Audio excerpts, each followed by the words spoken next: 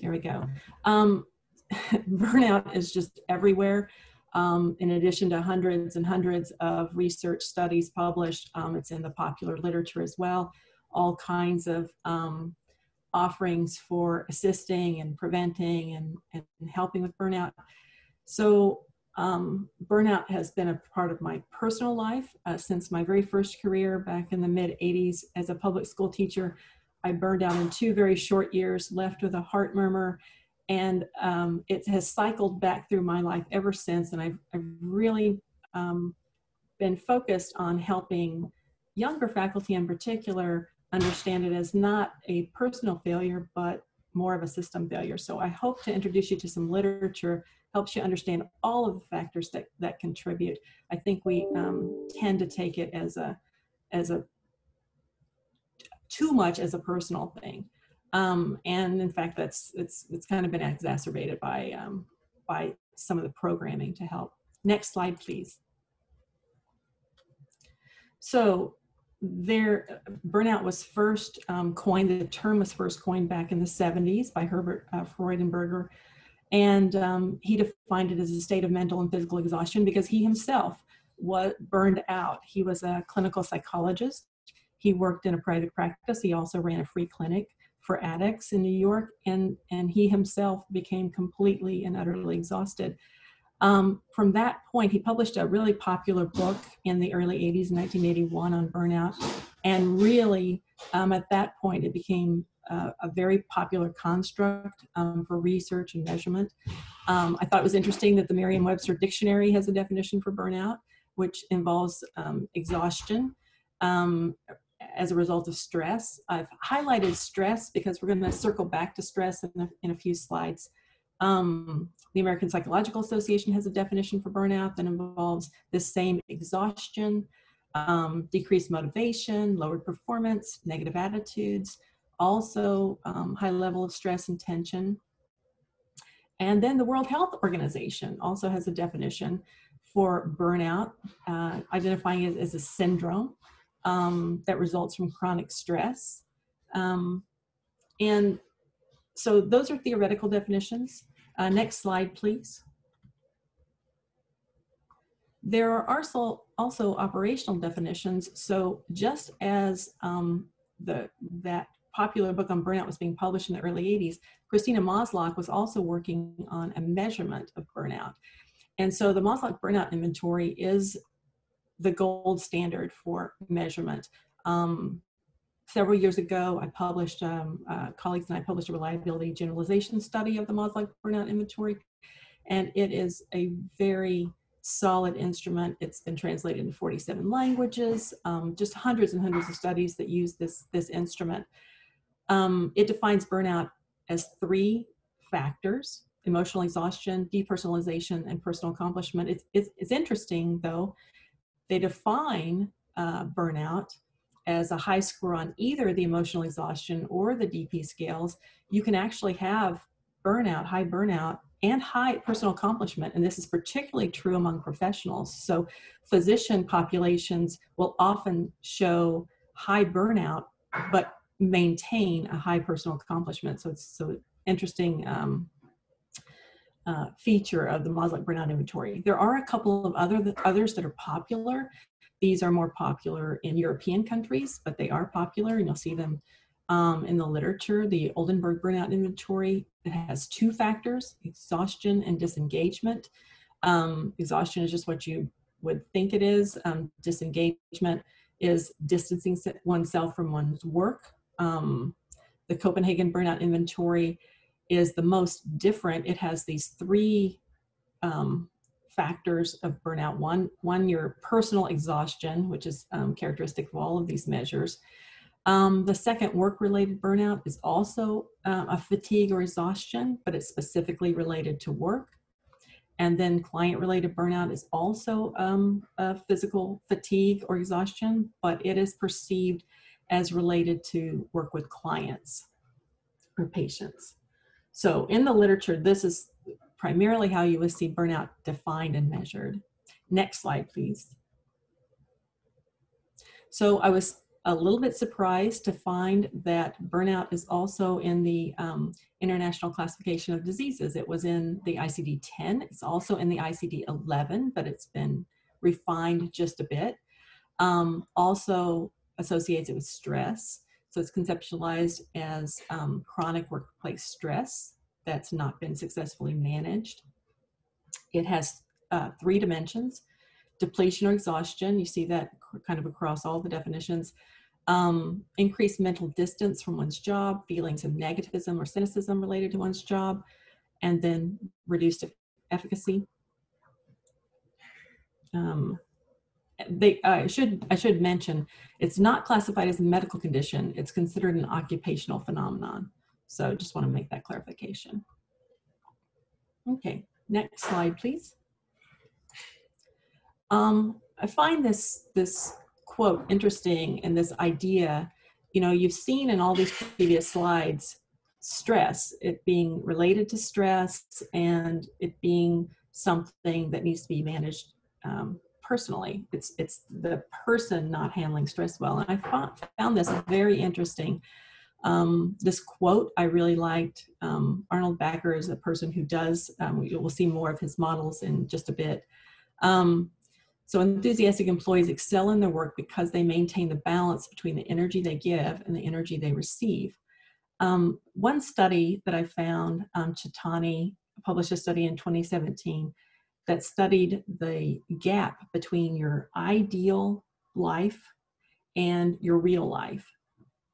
And burnout scores were significantly higher among participants who reported, of course, these larger gaps. And so you know this this idea of energy balance i, I think about sometimes we think um, when we think about burnout we think about people who've kind of emptied themselves to give um, in a service capacity and i think that the person that comes to mind when you think about a service uh, a person who gave their life to service is maybe mother teresa i think it's very interesting if you look at mother teresa's schedule she literally worked in those um, Calcutta slums seven and a half hours a day. She kept a very strict schedule and she spent seven and a half hours working outside the convent, but the rest of the time was all in self replenishment. So she spent plenty of time restoring this energy balance. Um, she was provided plenty of resources to cope inside that convent that gave her the energy to be able to go back out and do what she needed to do. So later on, we're going to talk about some of those institutional resources that can be put in place. Stress is something we're not going to be able to get out of. Um, a, a life without stress isn't a very interesting life, but stress can be facilitating or it can be debilitating. And so we're going to look at some of these resources that, that um, help help balance the stress in a way that makes it facilitating. Next slide, please.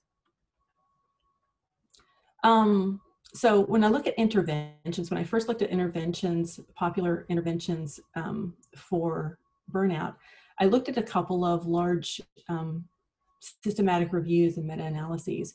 One, this first one done by Ahola, noted that he looked at, um, uh, they, they looked at 18 different studies and that had interventions 14 of them were individual or group uh, cognitive behavioral therapy.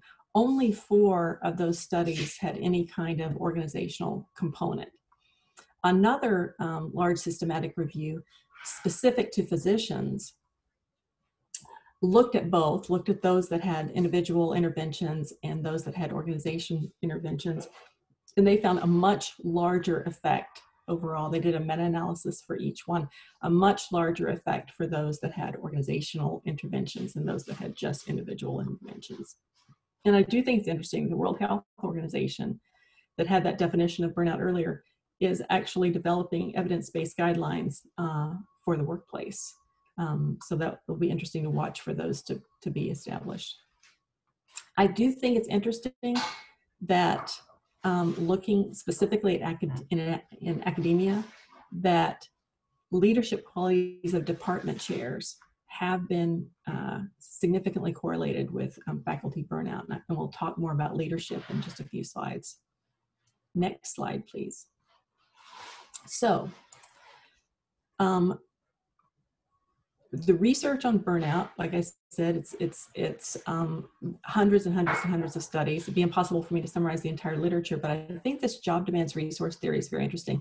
This uh, model has been researched since 2001 um, in all types of um, populations. It's uh, subcomponents of it, uh, the full model, um, different professions, um, well researched. And so here we are in 2020, um, and there's a lot of support for this model. I think it's um, a very interesting model. It really boils down to these two processes. So you have um, this this process. Oops, this process, uh, the one on the lower side of the model, um, job demands, predicting strain. That is um, a health impairment process. Um, and then you see on the top side of the model, you have job resources and personal resources that are predicting motivation. And you see some cyclical things going on. At the very top, that job crafting, you see job crafting circling back into resources and back into motivation.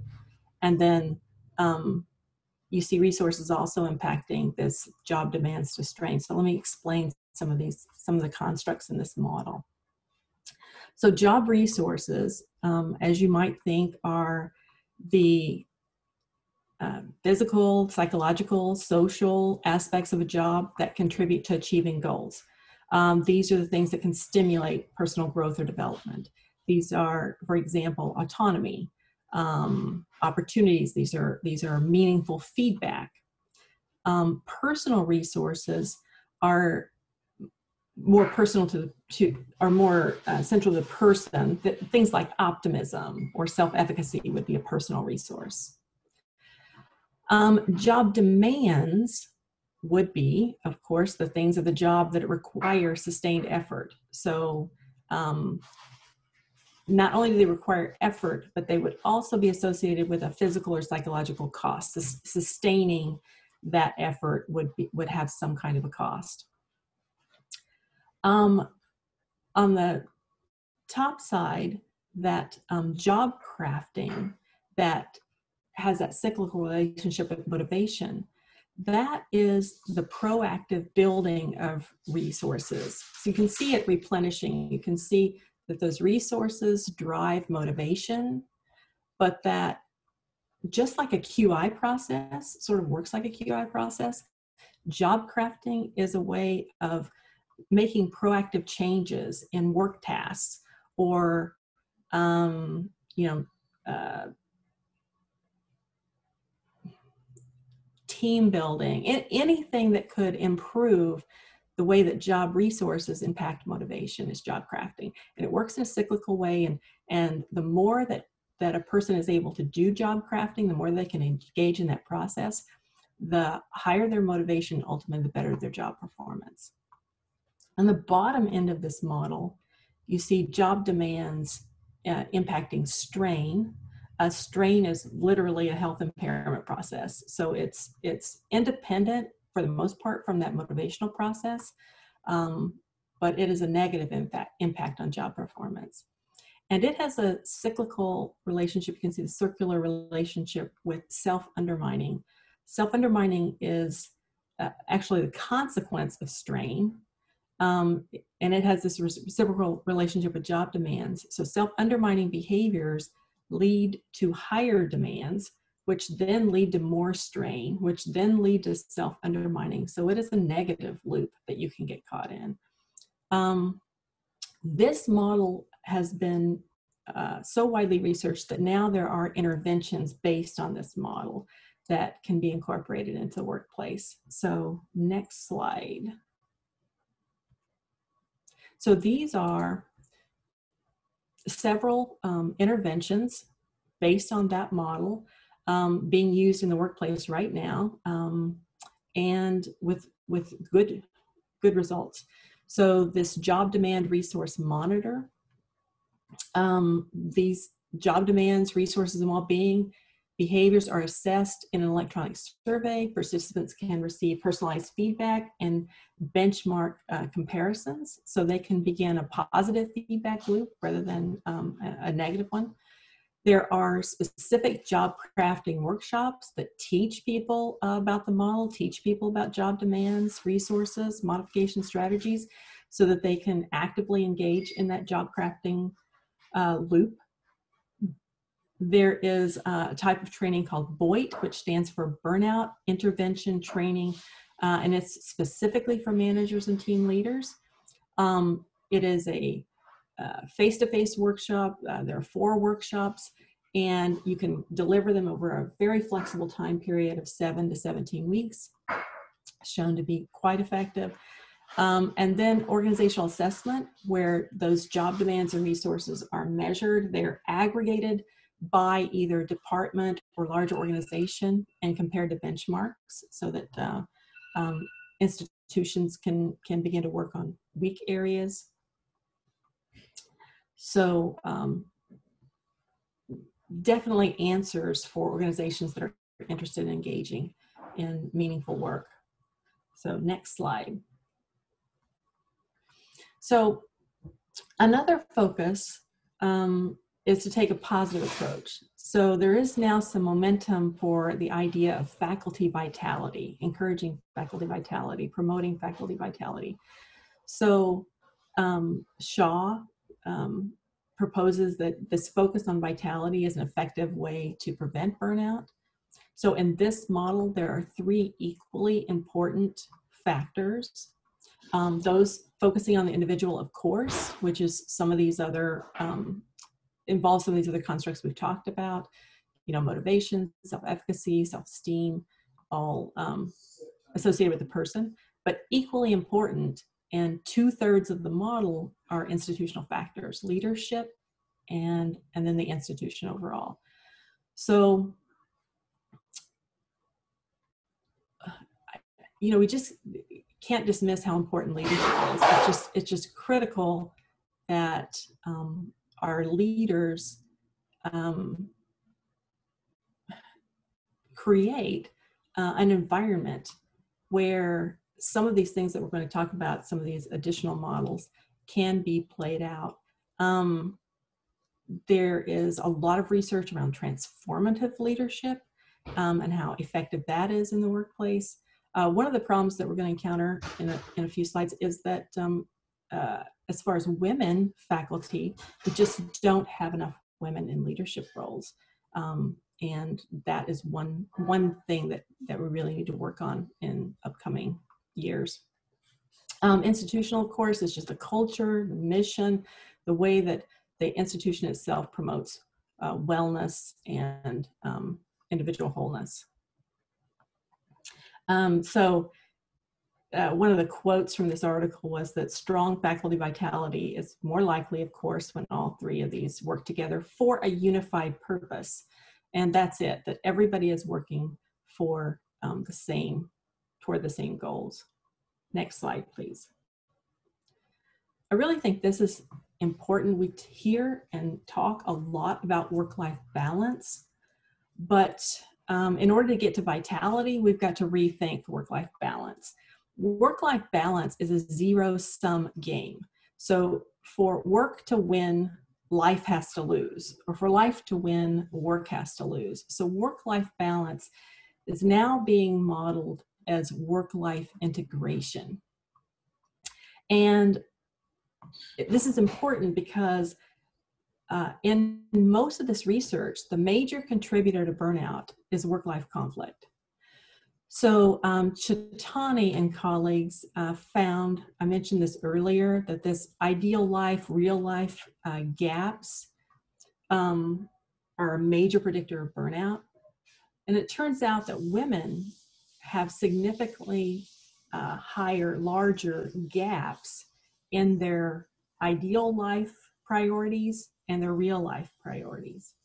So for women, um, they report gaps um, at a rate of 72% versus 54% for, for men.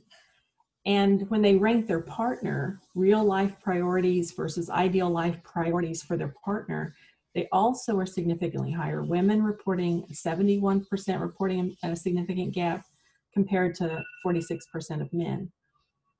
so women are definitely dealing with work-life conflict. It, it, it affects women uh, at a higher rate than it does men. So the concept of work-life integration acknowledges that there's no perfect balance between work and life. You just this, this is is never going to be balanced, and there's always going to be a loser, a winner, and a loser. So work-life integration is persons finding themselves accomplishing work tasks at home uh, and tending to some life responsibilities while they're at work. Um, this can be assisted with technology. I think we've all kind of, COVID has kind of made us all sort of figure this out in a, in a little bit uh, different way. Um, once again, the key to making this work is leadership who not only embrace this concept but model it. So when you have leaders that you see doing some life things at work and taking um, some work things um, home when when it makes sense um, and doesn't interfere, you you create a, a culture where this is okay, where it's okay to to blur these lines. So rather than filtering essential parts of life identity at work, work-life integration allows us to come to work whole as a whole person. We come with our life, our, uh, our life spills over into work. Our work also spills over into life, but that's not always a bad thing. Okay, next slide, please. So, work-life integration um, literature research. Um, I found that the most supportive work cultures are associated with the lowest levels of work-family conflict even after controlling for workload. Found that work life conflict strongly predicted burnout um, and mediated the relationship between work demands and burnout. Um, age, gender, children's age, and specialty choice uh, and burnout all significantly associated with work life integration satisfaction. So, uh, younger faculty had lower rates of satisfaction um, women had significantly lower rates of satisfaction compared to men. Children's age is really important. So, um, faculty with young children, preschool age children to early elementary age, significantly um, lower satisfaction. Specialty choice, of course, it's the it's the difference in um, specialties that are associated with a more um, planned work schedule versus those that have um, higher demands, you know, like surgery or emergency medicine. Uh, of course, burnout. Um, also interesting is that, that a supportive culture, so supportive work culture can buffer women from the negative effects of work-family conflict. Once again, it's very important that the, that the leadership and the organization take some responsibility here. It's not just on the individual. Um, another interesting study they don't have on the slide, but it was done by Jolly and colleagues. It was published in 2014. They took um, physicians who had received NIH K awards and they surveyed them. Uh, these were all who still had active uh, academic affiliations. And they found large gender differences in domestic activities. So, first of all, uh, of the men who they surveyed, K Award winners, were men. Only 45% of those men had partners who were who had full-time employment. The women, K Award winners, win, uh, winners who were women, 86% of their partners were employed full-time. As a result, maybe not as a result, but but another finding, women uh, in this survey uh, reported spending on average eight and a half more hours per week on domestic duties. So even among equally committed um, faculty members, um, there's, there's just a discrepancy. So next slide, please. So organizational climate and women faculty in, in particular how are women disproportionately affected by these factors that influence burnout? Um, women physicians who are in academic practice report significantly less satisfaction with work integration, um, work life integration, 30% compared to men. and report higher rates of burnout. Um, departmental leadership is actually a predictor of faculty satisfaction and is an important element in uh, perceived support for women assistant professors. Um, the AAMC puts out um, a workforce report each year. Um, they feature different things and different trends. Uh, the one that was published in 2019 reports that women represent 42% of faculty promotions from assistant to associate professor and only 36 of the promotions to full professor. So we do have a real gap in women in um, senior uh, faculty positions. They also reported that only 24% of department chair positions uh, are, are held by women in the basic sciences and only 17% in the clinical sciences. So definitely have a lack of representation of women in the department chair position. Um, I love this quote. This was by, this was published by the Committee on Maximizing the Potential of Women in Academic Science and Engineering. It was published in 2007. It says the problem is not old style overt sex discrimination, but rather unrecognized features of the organizational culture that affect men and women differently, which is reflected when you don't have significant women leadership. Um, next slide, please. So this is a really great, um, this is from the AAMC report, State of the Women in Academic Medicine, uh, published last year. And it shows a trend line running from 2009 to 2018. And I think it's interesting that this trend, these two trend lines aren't growing closer together. They seem to be fairly flat. So what this shows, the top line is men. This is the proportion of department chairs by gender over this um, uh, nine-year period.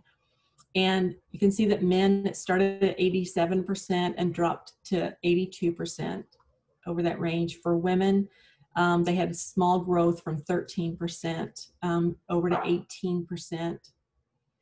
And then similarly, so that, that growth rate, by the way, that's about a half a percentage point a year. If we go to the next slide,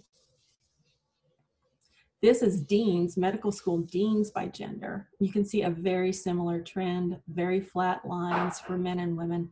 For men, uh, the range in uh, 2009 was 88%. And then uh, it, by 2018, it was just down to 82%. For women, went from 12% in uh, 2009 to 18% in 2018. So the number of women deans increased by one dean per year on average. So we're gaining one one dean per year. So you know those those are things that go into institutional factors um, that influence how women are doing um, in academia and specifically in academic medicine. Next slide, please. So a couple of interventions that have been uh, studied that are tailored specifically for women. Um, Grisso uh, did a randomized controlled trial, included three tiers of intervention, um, and showed significant improvement in academic productivity and work self-efficacy. Uh, this three-tiered intervention included professional development, included um, a faculty-led task force, to help change department policies, and it included um, institutional leader engagement, which is really key. You, you have to have institutional leader engagement for these for these to really work well. UC Davis um, School of Medicine started a program back in 2000 called Women in Medicine and Science, and this has been very successful. Um, it's had a positive influence on recruitment, on retention, career satisfaction, institutional climate, so it's been it's been very successful. Been running for uh, now you know 20 years. And finally, last slide. So I pulled a couple of these concluding statements from a study by um, Templeton. So it isn't clear that burnout actually is more common among women. The studies are mixed. We have, we have just as many studies that show that uh, burnout rates for women are significantly higher than men as we do that it's about the same. Um, so it's not clear that um, it's actually more common, or if gender-based differences, uh, or if gender-based differences in its expression, such as emotional exhaustion, make it easier for to identify among women. Um, also, there's the idea that may be confounded with age. Um, we do have burnout is associated with younger faculty, and we do have more women in the younger faculty category. So there is potential that it's confounded with some of those some of those um, features. Um, we do know, however, so regardless of whether it affects women at a higher rate, we do know that the contributing factors do disproportionately affect women. So work-life conflict, low represent representation, leadership, etc. all of those factors that we've discussed do affect women um, more frequently. And finally, institutions should allocate resources that can help women be successful at work, including career development, mentoring, and peer support programs. So um, you know, and I, I think that all of this has been just exacerbated by COVID. Um, so you take all of this and then layer COVID on, and, and we definitely have some challenges to overcome. And that is the end of the presentation.